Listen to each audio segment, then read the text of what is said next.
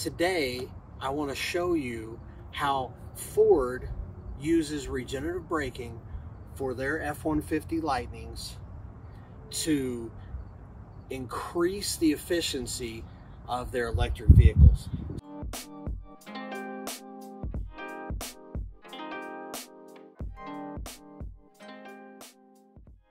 First of all, I wanted to answer the question, what is regenerative braking? Well, regenerative braking is as the tires are going round and round and round and round and round and round, kind of like a windmill, it actually takes that kinetic energy and converts that into power that can be used for the vehicle. So Ford does this through an electrical traction motor inside that actually uses that energy as it's spinning around to convert it into power as I was just saying.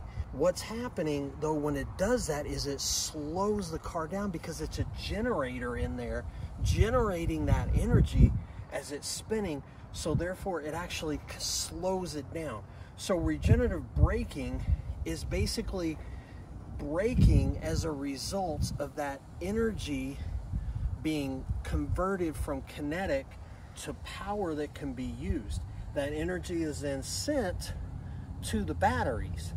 Now, you may say, well, what does that have to do with anything that's all electric vehicles? Well, yes, but I'm going to show you today how the Ford Lightning uses a variety of percentage of that energy and how you can get the most out of that regenerative energy as you drive. So I'm going to get in the truck and we're going to take a drive and it is going to be awesome. I'm going to show you the different levels of regenerative braking that the Ford Lightning has. So stay tuned. Ford has about three different stages of regenerative braking and I'm going to explain to you why one of them which is sport mode is actually the best so we're going to switch to normal now that's what most people do it's kind of a nice little blue if you look over here at the dash if you can see my finger it has a little zero percent there and if you actually go up here if I go faster, it shows you how much power is being used. And if I let off the accelerator, it shows you how much regenerative braking is being used. So if you notice with uh, normal mode, if you if you let off, it uses a little bit of regenerative braking. It does. I'm on the highway. I'm going about 60 miles an hour. Uh, just to show the illustration here. Don't worry, I'm in the right lane, so I'm not gonna freak too many people out here. Anyways, so normal mode is the low level of regenerative braking. Again, it only does a little bit there and it shows you how much that is. When you switch it to one pedal drive, so one pedal drive essentially makes it where you just use one pedal. it's pretty much what it says that it is. But you have to get really good at how much you apply the pedal, how much you let off the pedal, and it requires a little bit of a thought process. But if you let all the way off the pedal, like I'll show you right here, if you want to bring this over here, and I'll show you what the regenerative braking does whenever I let all, all the way off the pedal. Are you ready? There we go. Look at how much regenerative braking that was that was crazy. So I'll, I'll show you again. So basically it goes all the way down there. So it's essentially totally opposite of of just normal without the one pedal.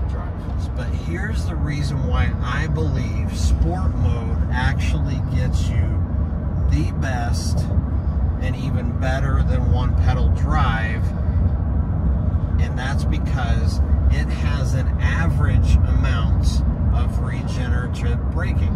So I'm going to switch it over to sport mode. There we go. And just so you're aware, if you're if you're looking here, you can do one pedal drive and sport mode together.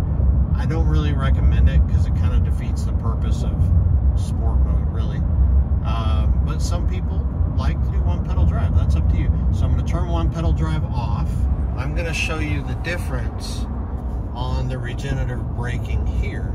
So I let off the accelerator right now and it does about half as much as the one pedal drive. It's pretty much allows you to coast. So whenever you're going downhill, you can let off the accelerator and not worry that it's going to jerk you. one pedal drive I also call uh, whiplash mode because it's like, mm. and so people are really apprehensive about letting go of that pedal.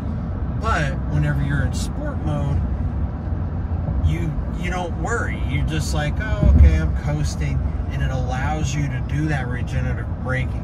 So that is my opinion as to why sport mode does better than one pedal drive. But you may say, well, that's not true because the math would show you if you did one pedal drive, it does regenerative braking. I will actually agree with you. If you are a scientist, if you are a good mathematician or something, and you just want to analyze everything when you drive and make sure that you let off that pedal just right all the time, there's a good possibility that you could get one pedal drive to get you more miles per kilowatt. But I don't like to think that much when I drive. I don't like to think that much on when I'm driving on the road at all. The point is to let the vehicle be the tool that works for you. Another thing I wanted to show you about sport mode and the reason why it's better than one pedal drive is you can make it do the same thing that one pedal drive does. And what one pedal drive does, obviously, is make it use all the regenerative braking that it possibly can. So when you're ready to slow down, what you'll do is you'll let off the accelerator. It gets about halfway there.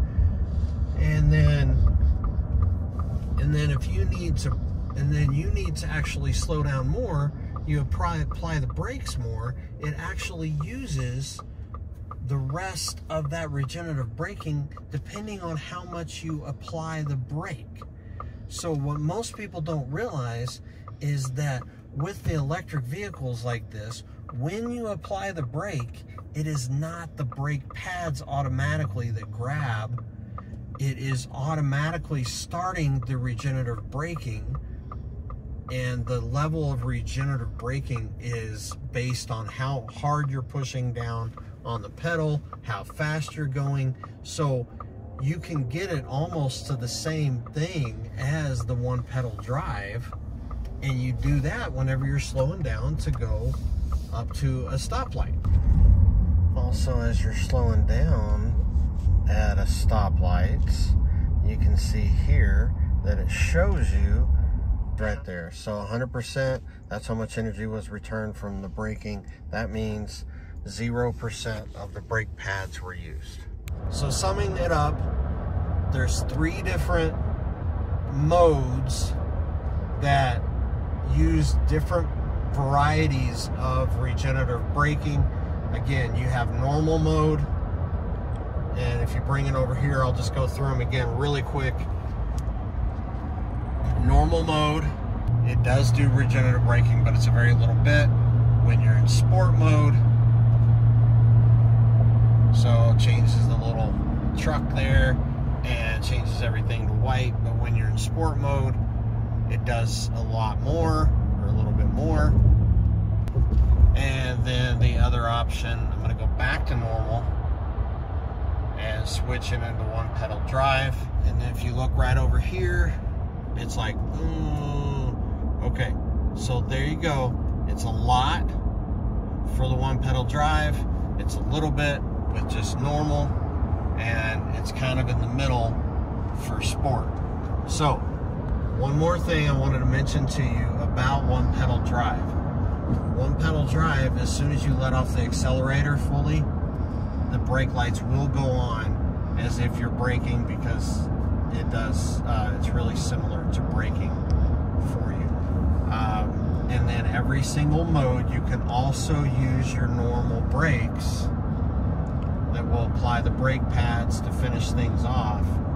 So, well, that's about it for today. So again, sport mode, all, take off one pedal drive, you will get the best miles per kilowatt under normal driving conditions.